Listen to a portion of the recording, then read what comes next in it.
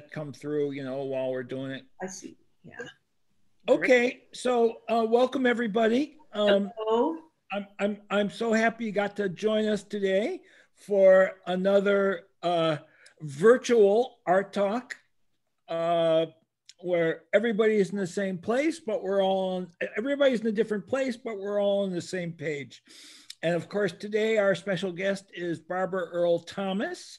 And just through a, a, a completely unexpected accident of timing, and Barbara, when I first invited you to do this, I didn't even know about your show at SAM, but it turns out that Barbara has a a, a one person show at SAM called uh, The Geography of Innocence, and it opened in November and promptly closed after three days for all the obvious reasons. So we get the pleasure of doing a virtual walkthrough of this show that nobody else in Seattle can see until the governor and uh, the COVID gods decides it's safe to go back into the Seattle Art Museum. So it's it's a very cool coincidence. I mean, it's not a good coincidence because you know Barbara Show is closed, but it's you know we do get to enjoy the show. And uh, I was very brokenhearted when Barbara sent me her PowerPoint because the show looked so gorgeous. And I said, Barbara, nobody's going to get to see this show, but it turns out it's up for a year. So if we're not back in business, I said, who cares? We'll just all have, like killed ourselves. Yeah, before this show goes down. I mean, that's you know, then it's all over for everybody. Anyway, so Barbara uh, Earl Thomas is um, this longtime mainstay of the Seattle art scene, and Barbara, I'm really sad that there is no female equivalent uh, another example of historical male chauvinism for the very useful term Renaissance man. okay, good. Because, yeah, because if there was, I mean, you are a Renaissance man, but the problem is there is no female way to say that. and the reason I say that about Barbara is that after getting her art degrees, and she got two of them from the University of Washington, MA and uh, a BA and an MFA, and she studied with uh, and became close to uh, two of their super mainstays in recent years, uh, Michael Spafford and Jacob Lawrence, you know, both of whom had a big influence on her career. After that, she's had a really interesting career. Uh, she was on the Seattle Art Commission. Uh, she helped to start and was the executive director of the Northwest Museum of African uh, African American art, or I'm not getting the, the name of the museum right. And uh, plus, she has been an exhibiting artist for years and years. And she decided finally to give up the arts administration side of her practice and just focus on the art. And uh, if you go on her website, she's had a really interesting career, and she's particularly done a lot of public art uh, uh, uh, in recent years, and so you'll you'll just run into her stuff when you're doing things like you know riding sound transit or uh, you know walk or, or, or going between here or, or, or visiting Portland. She's got some pieces there. Anyway, so uh, we're thrilled. We're so we're going to focus today mostly, almost entirely on the show, the geography of uh, of innocence, and uh, Barbara, by the way, it did also occur to me that uh, I think you're the only executive director of a major Seattle arts organization ever to have a one person show at the Seattle Art Museum. I think that's probably a pretty safe statement. So that's really wearing a couple of, of, of very distinguished hats. So anyway, Barbara, um, let's go ahead and uh, fire up our PowerPoint and start to look at uh, your work. And as always with these art talks, everyone, um, we, um, um, we, we've got the chat line open. Uh, and you know that with Zoom, you can, you can submit questions via chat. And Barbara is happy to uh, comment. And uh, we'll have a, a, a Q&A period at the end of our talk. So that there are few enough people here that we can be pretty conversational.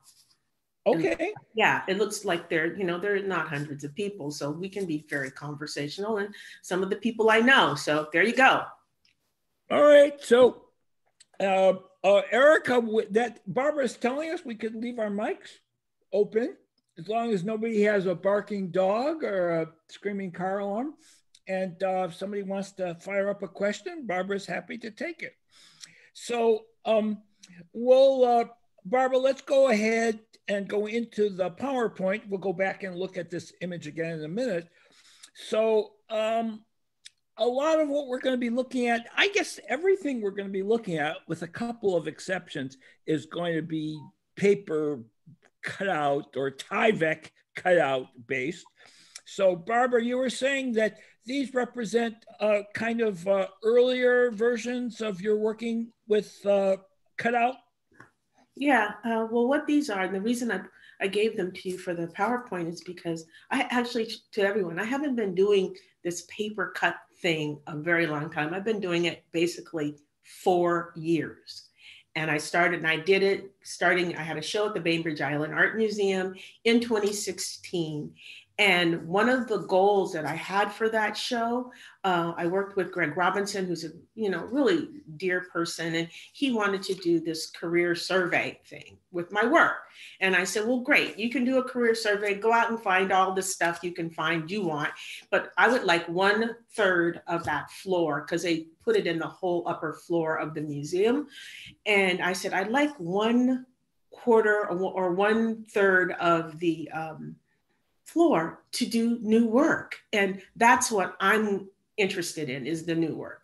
And uh, so I decided that because it was going to be kind of an experimental thing for me, I wanted to do um, work that was bigger and I could move around. And so I got these two walls, I don't know, they're 13, uh, you know, 12 feet by six feet or something. And I just got these rolls of Tyvek and I started cutting my narratives out of that, um, you know, out of that material. And then I would pin them to the wall. And so that's what you just saw. The piece oh, that you, yeah, that, I and so and I what what I was what I was interested in was being able to do these uh, dramatic scenes that were more than life size and do it in a way that it was not so precious. I could move the things around. And if I got it right on the wall and I wanted to move something that was like above the head of one of the figures, I could unpin it and I could move it. And so Greg was kind enough to let me do that. And then I also built my first illuminated room there. And uh, it was, I think, probably 12 feet by six feet or something, or maybe 10 by 10, I can't remember quite, but it was a little room that was all the walls were hand cut. And so those were my two intros. And you can see from looking at these that, um, you know, they're wide and kind of large sweeps. The red is actually um, some kind of bond paper that, you know, rag paper that I was using, but everything else is Tyvek. And these are large. I mean, they're like you know, six feet by eight feet, and, you know, and so I that's what I wanted to do. I just wanted to do something really big and not precious, but also where I could be graphic and narrative um, and really physically engaged in the work. Uh, okay, well, I want to go on to the SAM show in a second, but Barbara, I've been looking at this piece and uh, Blood Catcher because of the, well, I guess the title's ambiguous, but is the, so the one on the left is the blood going up or is it going down?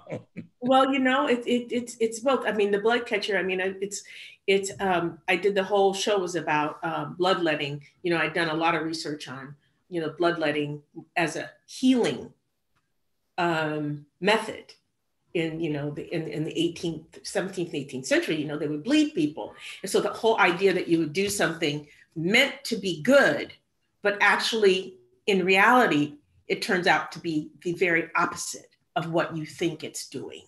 So I have these people in various sort of forms. And, you know, of course, the way we do it, you know, you need, you know, you have something dramatic and want the eye to go down. So I've got the blood going down and the guy is catching it, but it's actually going through his arms into a into a pot that's below and then it's flowing out of the pot And actually, in the museum, I had it go kind of right down to the floor.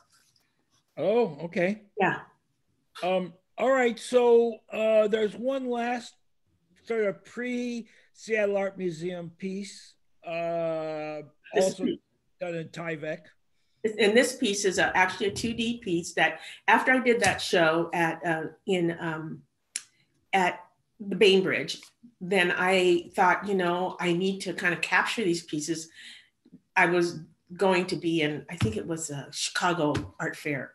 And I thought, well, I still want to do those Tyvek pieces, but I've got to be able to capture them and be able to kind of put them together so that they can be sent and they can be presented in a way that someone can pick it up and take it away.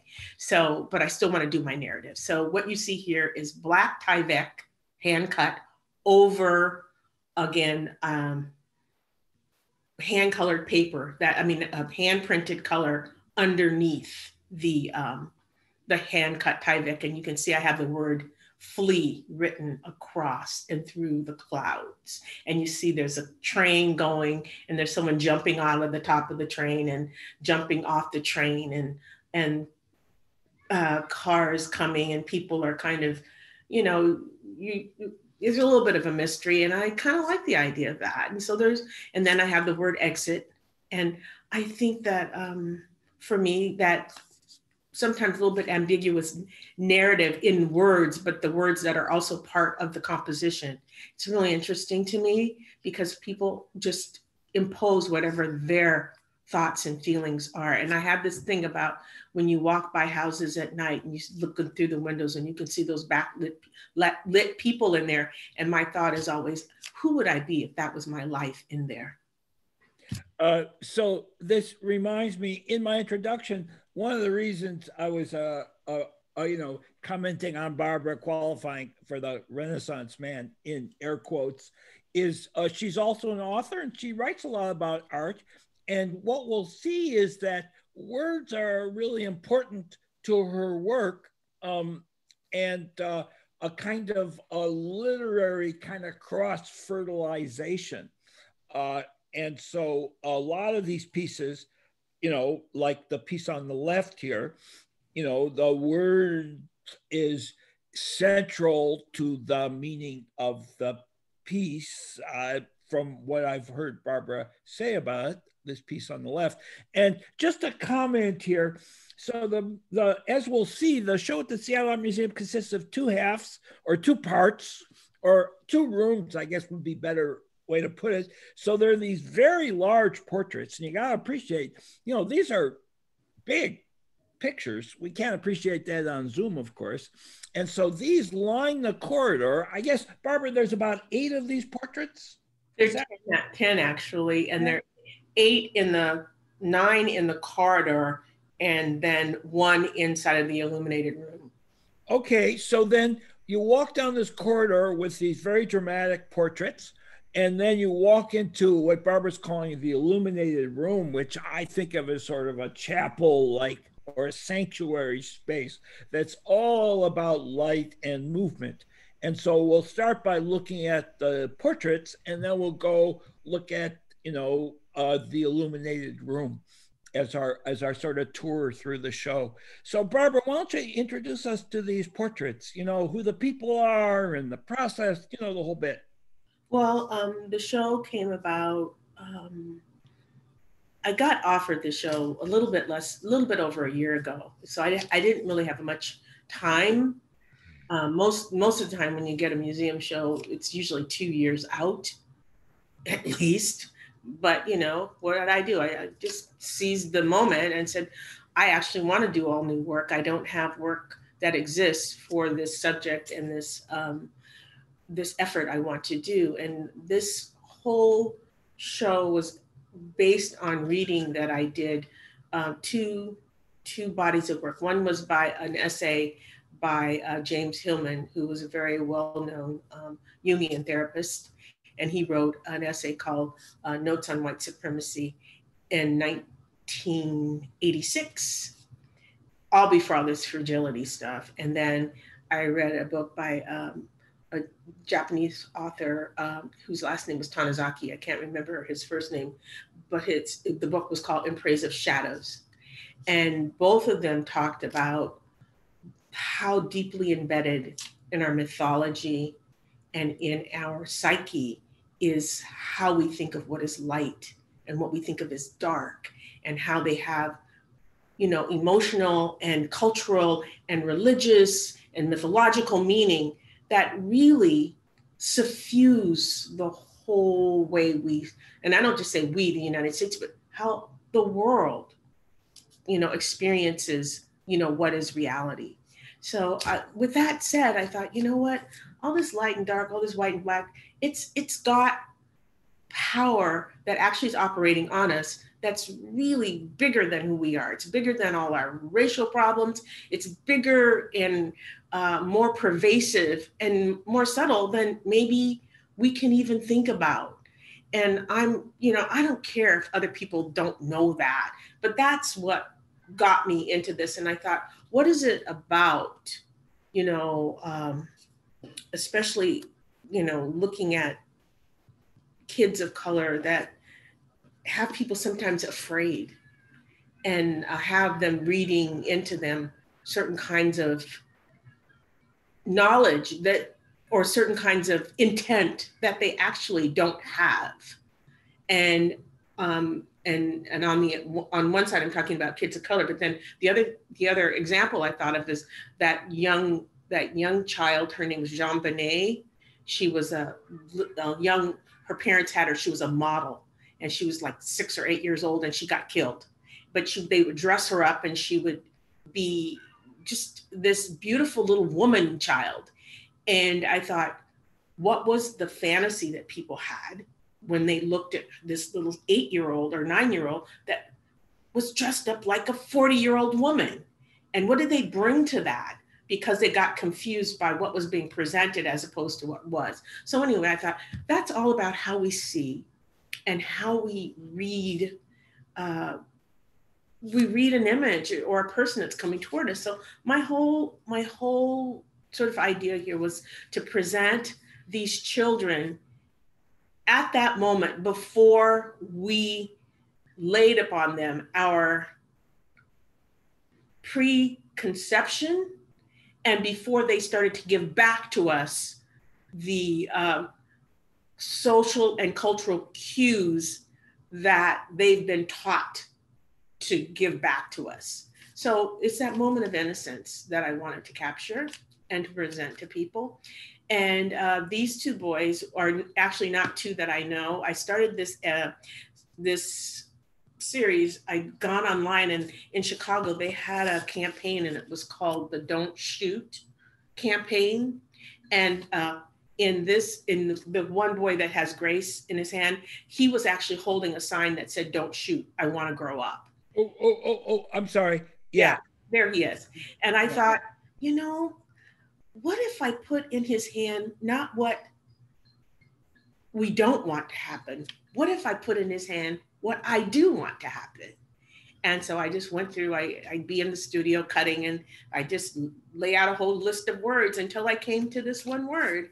And it was the right word, it was the right shape, and it was the right sound. And so my boy has grace. Uh, and so, uh, yeah, I want everybody to understand that what we're looking at here is a sandwich where there's a black paper cutout, and then behind it are these. Um, it, uh, Barbara was telling me before we started these professionally printed uh, colored papers that she's got. That's her palette. So she's got a whole mess of them in her studio, and then she puts them behind the cutouts to get the colors that she wants.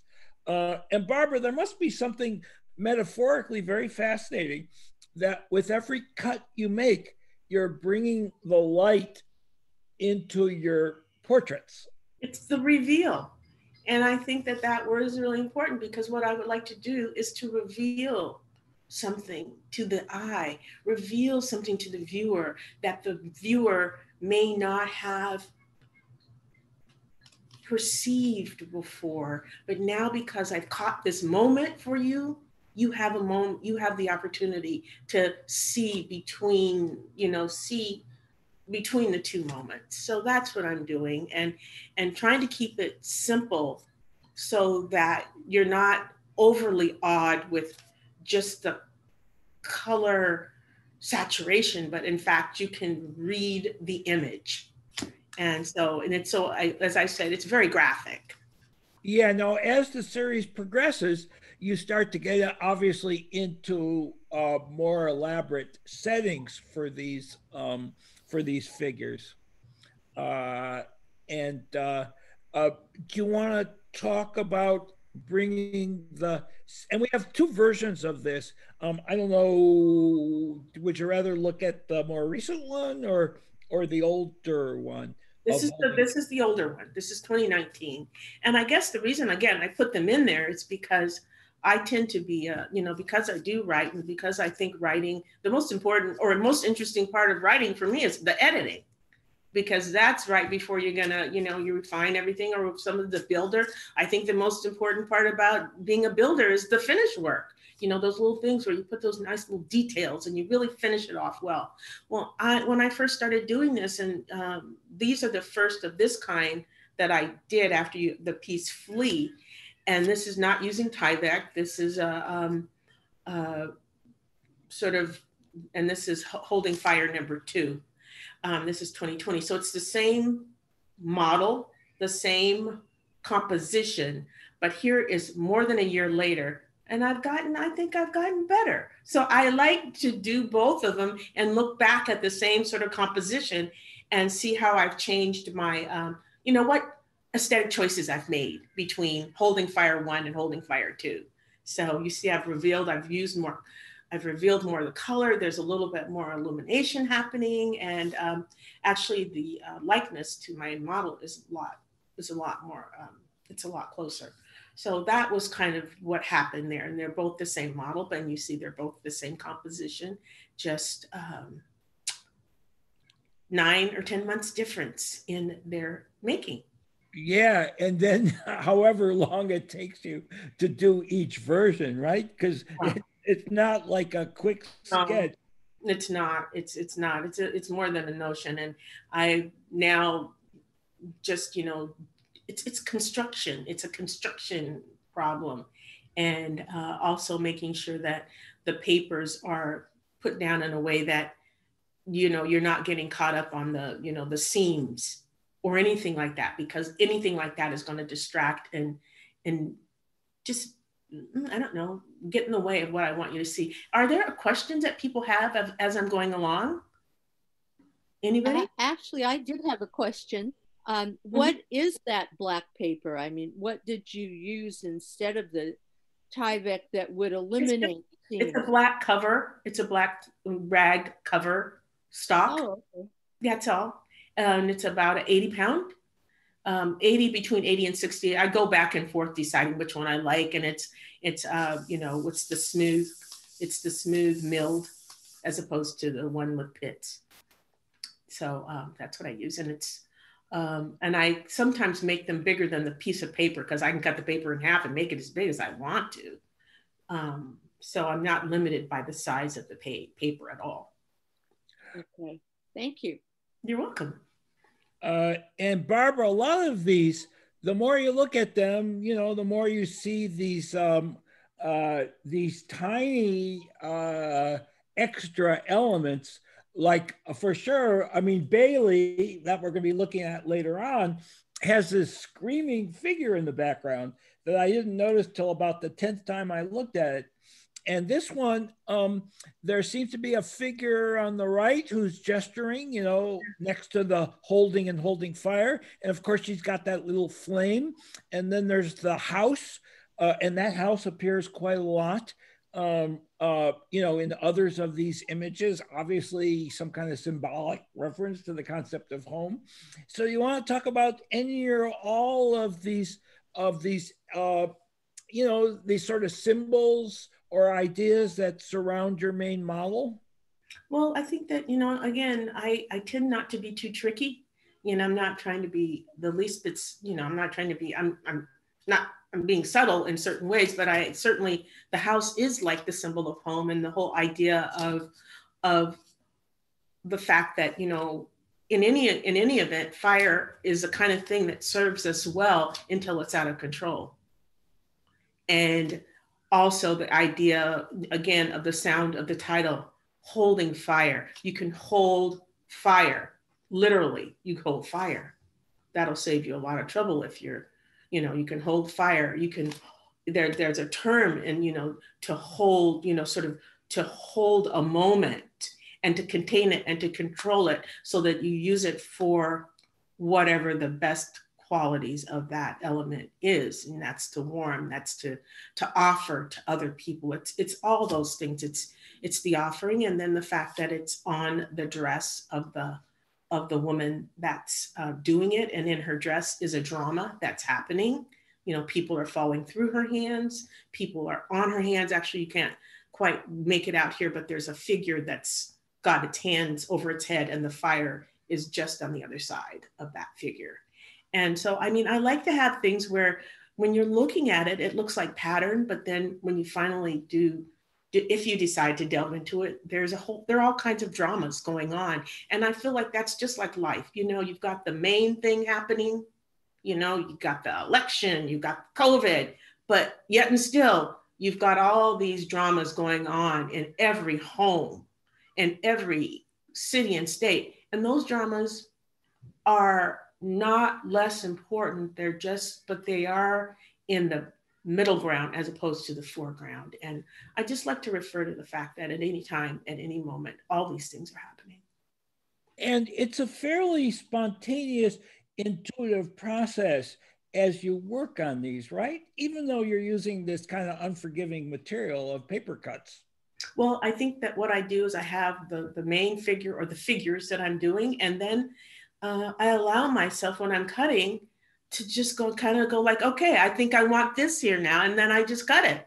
And um, as opposed to you know having something all totally drawn out and all totally in my you know sort of my template, I mean that would not be as interesting to me as to as having it be at the moment I'm there and I'm looking at her and I'm looking at her hands and I said, I think I'm going to make this, you know, this trumpet vine kind of look like it's falling from her hands and from the trumpet vine would be falling this um, figure. And in the in uh, holding fire one, I didn't have it like that. And in fact, I wasn't even doing trumpet vines really at that time.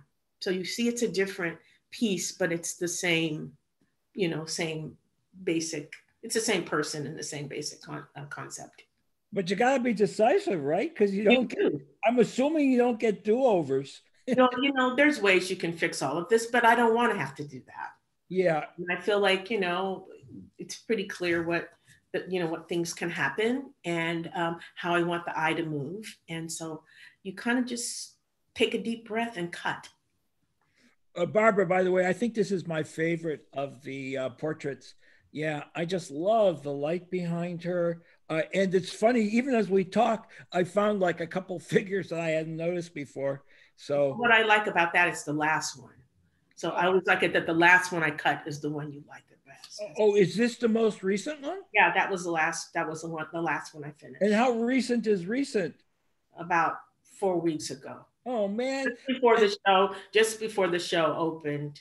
I oh, mean, oh, that's what that's what we mean by all new work and this piece uh, was i think it's kind of it's kind of the, the anchor piece that everybody gets drawn to but i actually like cutting uh, holding fire quite a bit. So but it, it this piece actually has all the elements that you'll see sometimes reoccurring you know as i go forward. And this little boy his name is levi and i actually do know him because his his his mom his grandmother is my first cousin. So Levi came to my studio with his mom, and he was here, and I thought, hmm, he's very adorable. So I said, Levi, come stand over here. Let me take a few photos of you. Do, do this for me. And that was the thing about, you know, the, the kids is that, and that's what I wanted to capture is that before kids are posturing for you, before you're having some sort of, I don't know, laying some kind of like in, you know, expectation on them, kids want to do, they want to please you. They want to give you what you want. So I said, "Will you stand here?" And he just did everything I did. And he he didn't know what I was going to do with it. He just trusted me. So I wanted to, I could see that right away, and I wanted to capture that quality in Levi.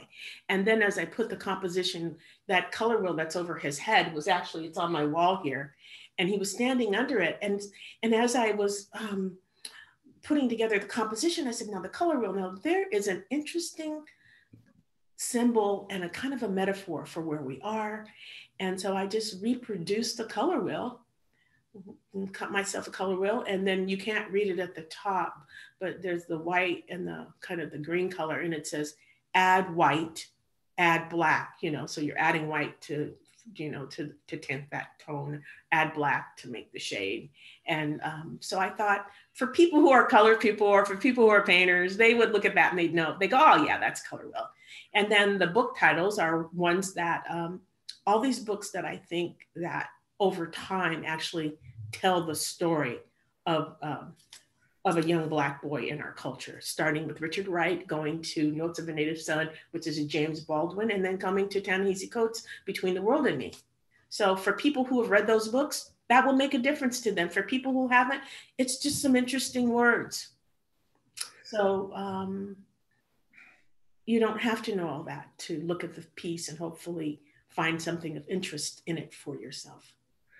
So um, the uh, Stained Glass Window Association is really interesting to me because you know I know that you've talked about in other interviews and so forth, kind of you know biblical narratives and associations. So is that something that sort of emerged as you worked on it, or was that part of what you were thinking about? Because this one really, you know, suggests stained glass window to me anyway. Well, I think, you know, there are things that are in my mind that um, sort of symbolize uh, ways of looking at things. And of course, that's something I've worked in glass now off and on for the last, like since 2014. I had a residency at the uh, Tacoma Glass Museum, and then I had a residency at Pilchuck and working in both those places, there's something about glass, of course, it's very attractive and cloying and magical because it's all about light and it's all about how light is transmitted. And once you fall in love with something like that, you're you're going for the look. You know, at least I am. I'm going for the look. How can I make that happen? How can I make the color fades and the eye move in a way that suggests light? And how can that light be as much part of the subject as the figure in the composition? So that's what I'm doing. And um, in some it works better than others, but that's that's what I'm going for. Well, you're ready for your first window. I mean, that wouldn't be a big stretch at this point. Well, I'm doing windows for Yale, um, starting. You know, well, I got the uh, what is it, a commission, so I'll be doing windows. They're they're not big and they're not, you know, elaborate elaborate, but I'll, I'll be able to do the windows, so it'll be good. And it's not the first time I've done windows, but it's the first time I've done them for a public commission. Um, um, okay, so uh, uh, I'll just let leave it to you make any individual comments about these portraits as we as we go through them. Mm-hmm. And so this one is it. Uh, this is called Wonder Boy, and again, these now are of children I know, I know this little boy.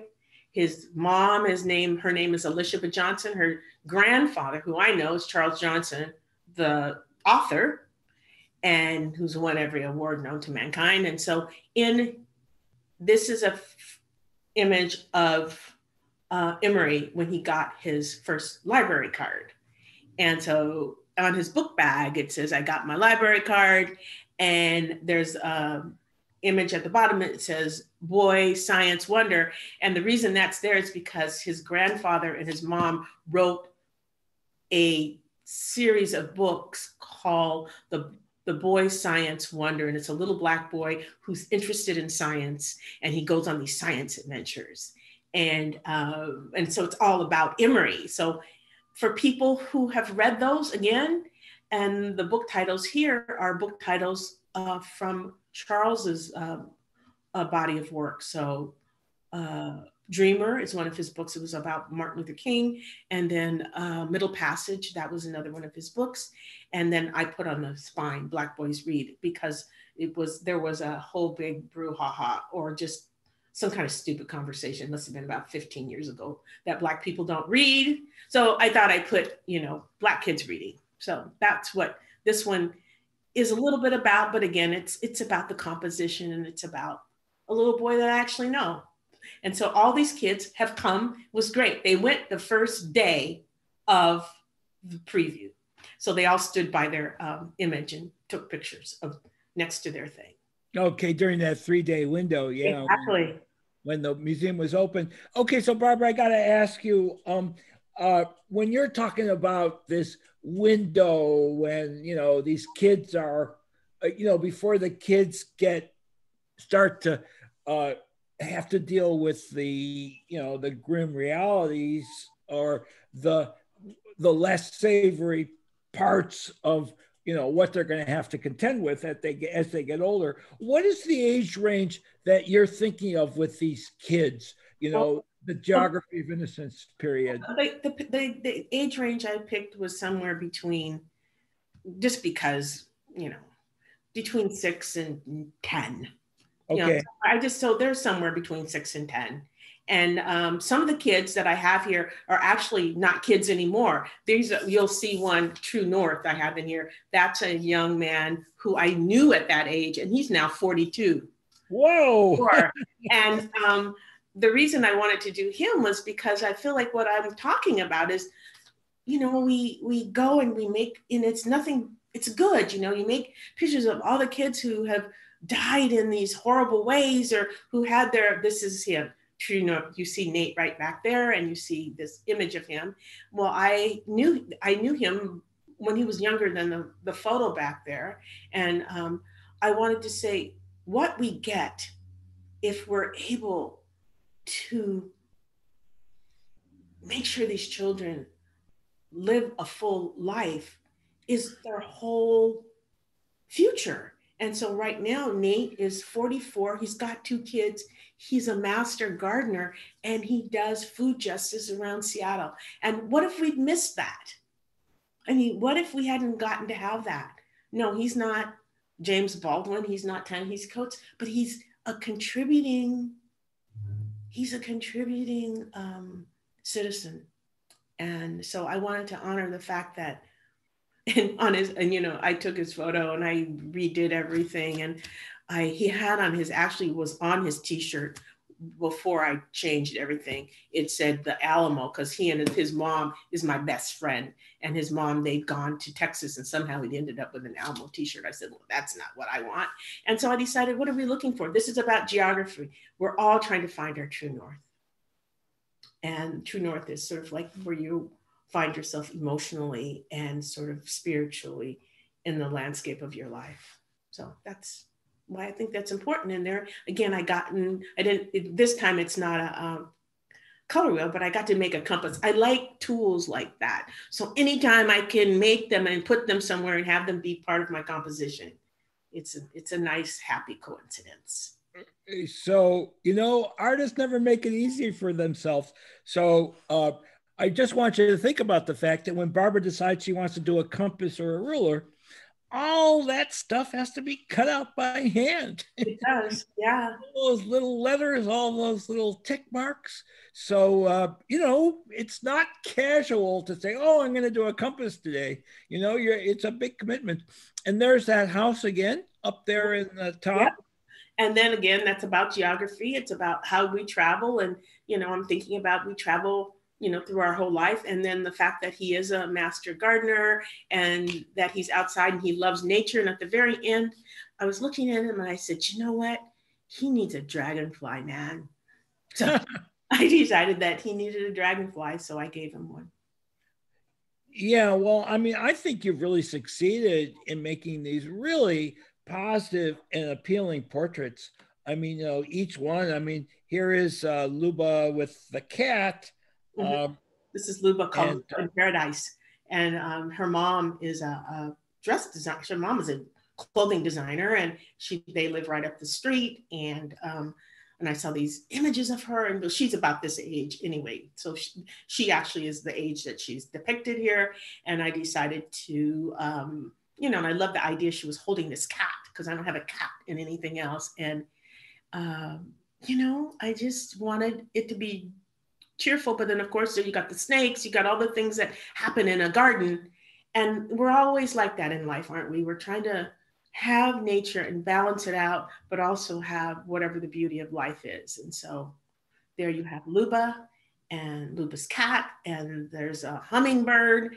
And you can tell that this is a later one because again, I just started putting these vines in the last in the last four months because I started in August and I was outside. I said, hmm, I'm, I think I would like that. But on a walk and I saw a trumpet vine and I thought, I think I'll, I'll, I'll put that in there. I just have to say, as an aside, it's unheard of to have only a year to prep for a museum show. I mean, uh, uh, I would be on, I would, I, you know, I, I, would be on tranquilizers the whole year. I mean, it's. It's stressful. Yeah. What are we seeing on the left there? Because it's not the black paper with the cutouts; it's white paper with uh, that ink was, or something. That was my um, my drawing of her. I did like five drawings of her and okay. then um, when I cut when I do this drawing, I, I lay it on top of the black, and then I do a basic cutout of my my shape of my after I've done my drawing, and then I take that away, and then I cut the rest sort of just as it goes, just so I make sure she's where she needs to be. Okay. So I do make a drawing that I cut and. Um, oh, oh, I'm sorry. I, my my uh, I'm getting ahead of myself here. Ah, ah. Okay, there we go. Mm-hmm. Uh, okay, so uh, this is one that's not in the hallway, that's inside the exhibit. Yes. It's in black and white, and Barbara was telling me that it's the, that the piece that is at SAM is sandblasted glass. Yeah, so it's um, it's just regular plate glass, which I will not use again because I've just gotten a great sample of hand cast glass with black over it. So that's going to be for the future. It's beautiful, going to be beautiful. But this is plate glass with uh, a layer of uh, black enamel uh, baked on top of it. And then I put a frisket on top, cut the frisket, pulled the peat parts out, and then sandblast. And that's how these images have um, this one on the side, the one on the with the yellow behind it that's on that's paper and that's going to be for a different uh, a different show for the Henry. Okay, and I want people to notice that uh, that's the most uh, sinister figure that I've seen so far, Barbara. Uh, the guy who's uh, screaming and gesturing with his hands that look like claws in the lower right. I mean, he looks like he wandered over. You should pardon the expression from a Kara Walker uh, cutout. Uh, so, uh, and he does appear in the sandblasted version, obviously. Yeah. yeah, he's there and he's actually going down and kind of picking at the stamen of a flower oh. that's on her back that's coming that there are flowers around her so she he's he's he's sort of coming out of one flower and going into another and I think in all my work, there are these um, the elements of the sacred and the profane, these ideas that in everything there is an element of the dark and light, you know, uh, and how we move through the world and how we move through danger and how we mitigate that danger. So I wanted to have that be with what is also beauty and what we consider as beauty. Yeah, I mean, there's this incredible tension, isn't there, between her innocence and sweetness, and then this, you know, this seriously threatening figure. But he's so small that you know he's kind of like in the he's like the background noise or something. Yeah, and this is my great niece, so that's who that is. Okay. Um, she, she lived with me. She would live with me for the last two years, and now she's off on her next adventure. Okay, so here's the here's what you'll see when you go to SAM. And as I say, you're going to have a whole year to do this. So, um, um, uh, you know, we can go there later on in the spring when quote unquote life is back to normal. Uh, so there's Wonder Boy on the left. So that one we already saw with him holding the book bag. um, the one on the right we haven't seen a picture of, but so these pictures line the corridor. The corridor as you walk up to the illuminated room, and at the very apex there, you see at the very top, that's where you'll see the, the image Grace is at the very top. And then you make that right and go into the gallery. Okay, so Grace is the one that's just opposite the door, in other words? it, it is. Okay. Um, and uh, So, so, there you are. So you see Geography of Innocence and you see Holding Fire right there by the wall text. So you've seen that. And then when you go into the room that you see right here, that's the that's the hand cut room that I built. yeah, and uh, this is your, you know, work in progress while you're installing. I call it the epic install. Took seven and a half days. Whoa, that's a that's a long time for an install. Well, you know, the room is a thousand square feet, and I cut walls for the whole thing, and then getting them all just right, and getting them lined up, and getting them so that they, you know, they touched, and all of that. All those details take time. Is that that's paper? It, it's Tyvek. Yeah, Yeah, those are huge sheets. And here's what it looks like. So this is the finished version. yeah, and it's um, it's the each the from floor to bottom, it's twelve feet. So each panel is twelve feet. Each panel that I've cut is twelve feet, and each one is four feet wide. So it took about thirty of these panels to surround the walls.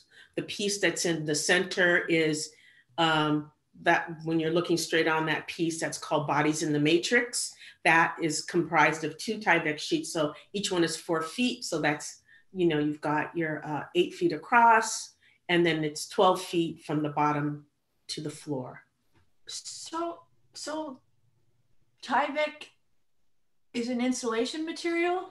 Is it a building material? Or I what It's both. I made it. You know, people make do, do things with Tyvek all the time. So I I I actually CC Cooning, if you know her work, um, she's a she's a she's a you know she lives in Seattle. She does a lot of beautiful things with paper, and I saw some of her things years ago. At, you know, kind of hanging in one of SAM's spaces, and I called her and I said, well. How do you, you know, what are the upsides and the downsides of Tyvek? And then, so she told me, I mean, she didn't tell me how to do it. She just told me like there's white and there's black, and this is what you could do. And I said, okie dokie. So I decided that Tyvek, and the Tyvek was in those 2016 pieces that you saw that I cut the, mm-hmm. the large figures from. So that, then I decided that what I wanted to do with Tyvek was create these spaces. And what's really great for me is that a lot of, you know, one of the one of the things that has to happen for me is I have to be able to manage it and hold it and build it. And so I don't build with wood and metal all the time unless it's going to be installed somewhere else. But if I'm doing something in my studio, then of course you want to have something that you can actually manage. And so I had about uh, kind of a group of six or seven people who would come in starting in, they started like, like say last September, helping me cut. So we cut from, you know, September, I was gone for actually October. And then until we got the COVID shut down, they were all here helping me cut the walls. And then once we got the COVID shut down, we were shut down for a while. Then I had a smaller crew of about three people who'd come because we worked outside. I, I, built a little studio outside and we cut outside. Um, so I could only have one person here at a time. So that was another sort of like, let's make it a little more complicated. But um, May, the may real, I? Oh, sure. sorry. Go ahead. I'm sorry. I thought you had paused. That's fine. I, I'm just curious, uh, and maybe I missed it. How long does it take to cut one of these panels? Because it's so intricate. It's just amazing. Oh well, you know, um, we could cut a panel. If depends on how many we are. If there's three of us, we can get one almost done in one session.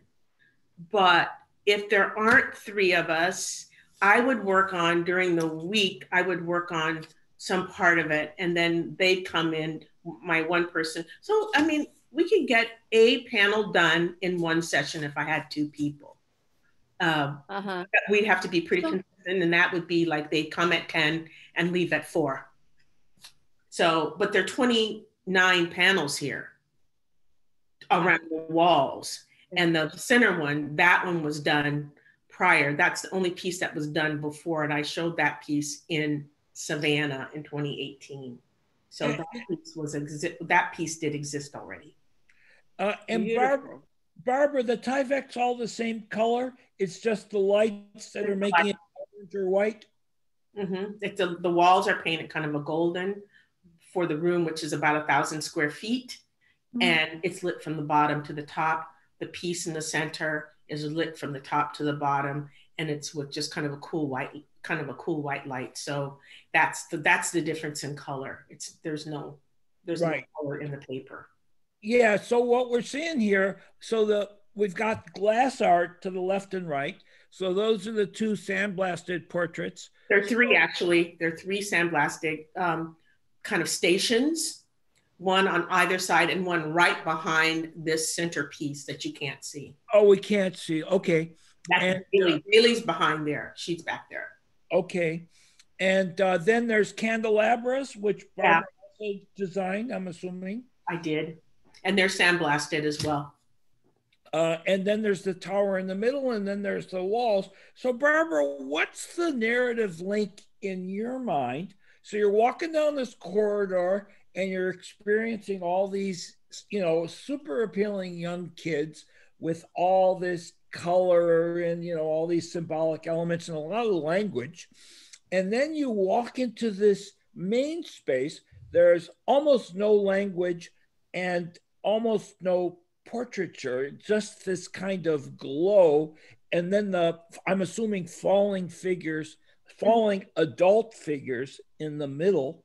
Mm-hmm. Uh, it's all the way around. It's it's it's it's it's in it's it's a it's a rectangle actually, and it actually was supposed to be open, but because of COVID, it was supposed to be that you could go inside that tower, but because of COVID, we couldn't open it because the space would be too mm-hmm. um, would be too tight, you know, and, and, and it might not be good for breathing.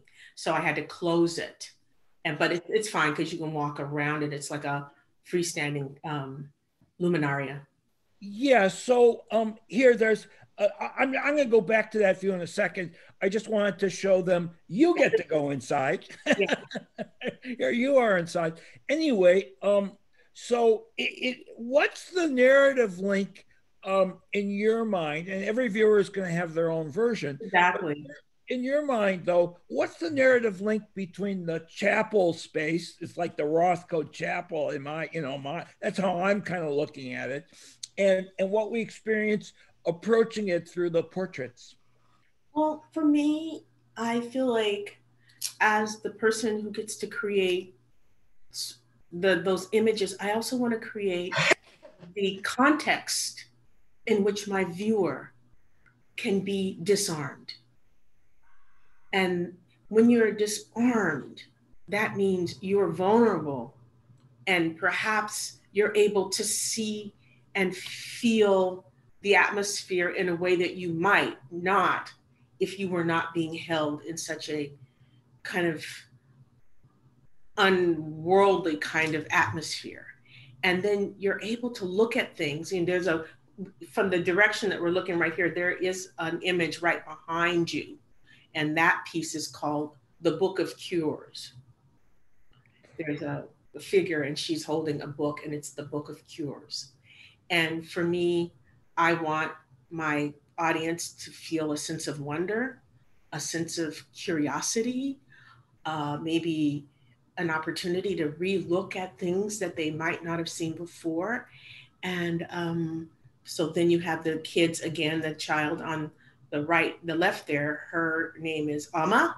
And on the other side, there are two boys. And these are all kids of friends. So Amma is a friend of the daughter of a really good friend. And the two boys on the other side, they're called the Flowers and they're friends of my friend, of, of mine that I went to college with. So those are their boys. And then Bailey behind. But in a way, again, it's all about light and dark and the fact that you couldn't have this beauty without having both the light and the dark, and that the shadows create the atmosphere. And so when you're looking at it, it's the balance.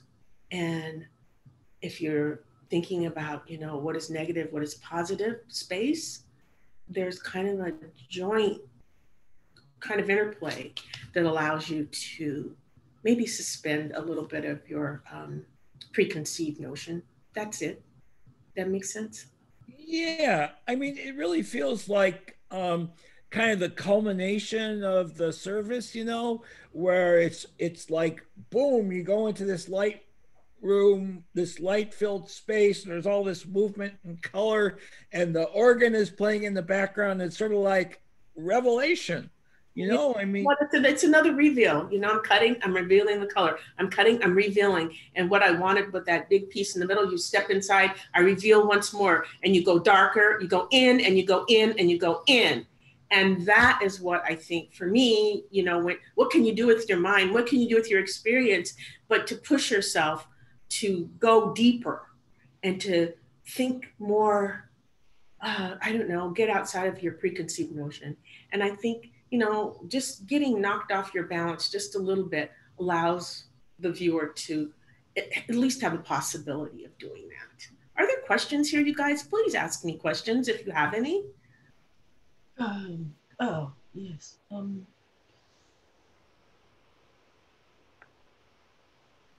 yes. Well, Is there a catalog for this show? We're putting it together right now because you know they, we couldn't do the catalog until the piece was installed because I actually didn't know what the piece was actually going to look like until it got installed. So we got all the photos now, so we're putting that together now. Okay. And Marquand Press is going to do it. Yeah, they're the best. They do all the key art books for the area. Yeah, so they're great. So there will be. And I, um, you know, so it's, uh, and the other thing I will say is that, um, my cutters, the people that come to work with me, they're not necessarily artists. They're just people who, some of the people I just wanted to know. Um, they're between 15 years old and 75. You know, uh, we have a good time and we get to know each other around. What, do, what do what does a cutter cut with? Uh, uh, what is it? Just the what is it? The knife? The a little exacto. A little exacto knife, or has it got some heft no, to it? No, it's just an exacto knife. And we just have an exacto knife, and we change our blades often. And I said there is no economy in cutting with a dull blade. There's none. And so we change our blades often. And um, I've met some really wonderful people uh, through the cutting. And um, they're all, when you go to the, the museum, you'll, you know, on that wall there, all of my cutters are listed on the wall. Everybody I worked with on making glass are listed on the wall. Uh, people I worked with. So they're all listed there. So you'll see their names. Uh, Hi, Barbara. Barbara, it's Mater Snell. How Hi, are you? Hi. Hi. It's fantastic. And I love that it is so filled with light and hope in this dark time. It is incredibly beautiful. Thank you for your gift. Mater, glad to see you. Nice to see you too. Yeah, well, Wait, Mater, did you already get to see it before it closed? No, it was only up for three days. Yeah, yeah. no. Okay, so you're waiting too, yeah. I'm um, waiting. Oh, uh, Barbara, let's just go through the last few slides because okay. they're kind of details of the falling bodies. Um, and uh, you can see that body more clearly. And here's a close up of the, I, I mean, I think of them as fountains. That's what they uh, are. They're actually fountains. And, you know, and I, and I have them so that, so nothing has to be like exact. I just have these areas where I sit at 24, 48, you know, that I have people, we kind of would gear the thing so that the arrows would go and hit that, that, that, you know, measurement. But otherwise, you know, there's no like the guy when we were installing, he says, well, are they in any kind of order? I said, no, they're interchangeable. um, any comments though before we uh, you know before we finish the slides and open it up for a few last questions about the falling bodies and and what that imagery means to you um uh is it you know i mean are, are we talking apocalypse or revelation or somewhere in between i don't know what do you, what do you guys the hanging. I've seen Julie Glass kind of hanging like that, but that's how how sturdy is that? It's very, you know, it's you mean the the, the whole thing? The No, cloud- I mean like the hanging figures that are the there's like a hanging sculpture in the You middle mean- there. in the middle, you mean hanging from the ceiling? Uh yeah, I assume yes. That is actually uh, paper, and I take the paper and I cut it in these long, sort of, kind of flowing things, and then I, you know, just like I would take it and then I would take a, a ruler and then I make it curl. Oh yeah, yeah.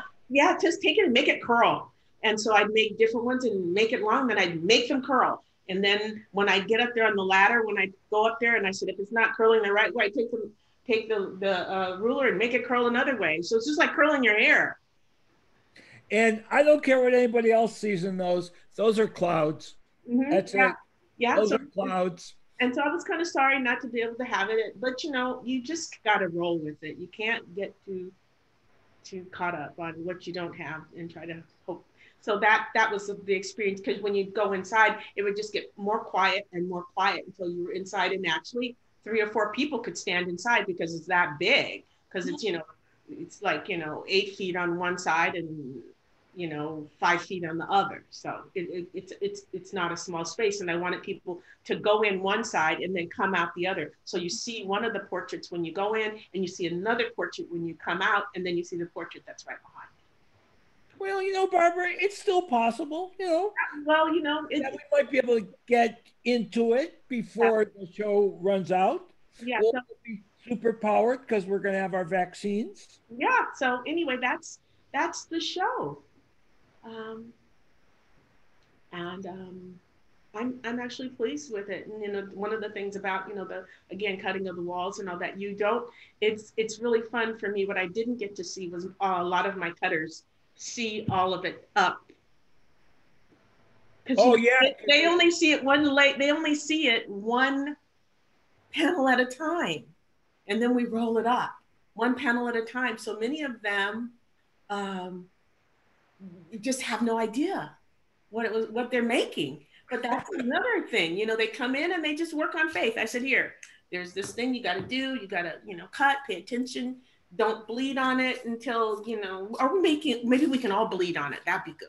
And so um, it, it, it, it was a really intense and wonderful experience to work with the people. And you know, Barbara, I don't know whether I'm being fair or not, gender wise, but if I think about all the artists who love the collaborative process of art making, uh, I I think I'm thinking a lot more women examples than male examples. Like the I don't, you know, I mean, uh, you know, like uh, the dinner party. You know, uh, Judy Chicago had a million people working on that, and there's But let me just say one thing. All my cutters are paid. okay. No, there- there's no free work here. Everybody gets paid and they have to commit to coming at least three sessions, you know, before we go. So, so that I don't end up, you know, someone comes and they're kind of all nervous. And then by the time they're all ready, then, oh no, I can't come now. I've got to go do whatever. So it's really a commitment. And, uh, and so I want them to commit and that just allows there to be a level of seriousness that um, i mean it's not a lot of money. I mean i you know you know 15 or 16 dollars an hour but it's something and it's um, every week.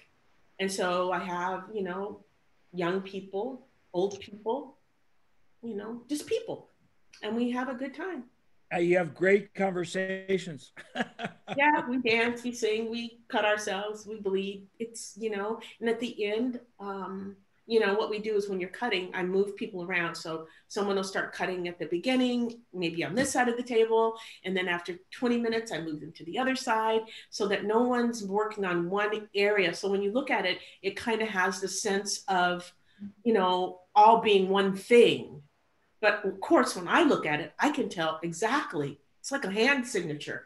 I can tell exactly whose cut it is. You know. Um, okay, so um, uh, Barbara has been super generous in working with me on this, and she's had a very, very, very busy year, as she was telling me, uh, and you can imagine. And she's going to take some much deserved time off. I don't know, not probably not really after this. But we have any last questions before we uh, let Barbara go? Yeah. Comments, questions, suggestions, as we used to say when we do our book, our book report. uh, to Andrea, thank you too. Uh, and we'll thank Erica, who is our tech support person. Mm-hmm. Um, well, Barbara, I just wanted to ask you quickly about the falling figures. Uh, you know, what kind of apocalypse is going on in your mind with with this giant tower with all the with all the toppling bodies? Well, I you know I wrote this piece uh, years ago, and it was uh, kind of the whole idea of the fact that the way we move through life, you know, there's this web, you know, that kind of holds us, but we move through it. You know, we move through it and we're kind of tumbling. And on that tumble, you know, we meet people, we run into people, we encounter people. And that if you were to if you were there and you go see the and you see the people, they they kind of go in and out of the border. You know, there's this this i think there's about a 16 inch border around the whole thing and that the, the whole sort of configuration comes from the fact that um, i like the whole idea of the illuminated manuscript where you have this border of the illuminated manuscript and in the border there are all these subtext again going on of what's happening in the world and then there's the main you know drama of people moving through their lives and so to me, that's just what it is. And you'll see some of the characters are holding other characters in their hands. They're handing a character off. They're encountering um, any number of, um, you know, sort of insects and everything that you can find in the world. So for me, it's not so much apocalypse because when you see the people, they're not the least bit ter- in terror because they have the matrix, which is holding them. So they're not free falling. They're actually you know, caught in that matrix and they're moving through those sort of fan figures, that fan shapes. So it, it, it, it, it's not a feeling when, at least the way I read it, when I see it of people falling into some abyss, it, it's more kind of they're in the free flow, of what happens in any day. And actually what can happen in any day is, you know, kind of like who you bump into and what you encounter. And so that's kind of part of, uh, I thought it went well with the rest of my theme. Okay, I like that yeah. explanation. Yeah. They just don't get to leave or go up and out. well, you know, I mean, I feel like, you know, it's it's probably because I don't know, I mean, gravity's real. And so yep. I mean, you know, and actually this piece was designed to be you'll go, you'll see it's rolled. It's really 14 feet long, but the, the height of the ceiling in this room is only 12. So when I had it before, it was uh, 14 and a half feet um, um, from the from the floor. So they're kind of people kind of fall into kind of a um, kind of a watery sort of catch. So it, it's not a hard. It's not a hard. They're not falling to the concrete. Okay. Yeah. All right, everybody. So, unless there's any last questions or comments, we'll let Barbara go. Thank you so much, Barbara, and everybody else for joining us. Thank you. Uh, and we'll see everybody at the Seattle Art Museum. Yeah, that's great. Yeah, let's see each other at the art museum. That'll be good. Let's see each other outside of our house and outside of our pajamas. So there you go. You film people that walk okay. in there that walk in there and see that for the first time, the awe on their faces? Well, you know, again, I haven't gotten to see too many people because I wasn't there. I didn't go to the um, to the uh, preview, but I did see, of course, um, there were a few tours of people, and I'm just, you know, I I love seeing it, and I love having people tell me what they see and what they think it's about because that's exactly what it's about. It mm-hmm. certainly isn't about them guessing what I was thinking. And um, that kind of completes the circle for me. And sometimes people see things that then help me go to the next one because they'll see things that I haven't seen. So that's the that's the joy of being alive while it's here. When I'm gone, I can't hear that. So there you go. Oh, who knows? Okay. Thank Okay. you. Thanks, Barbara. See everybody later. Bye bye. Ciao. Bye bye. Bye bye. Bye. Bye bye.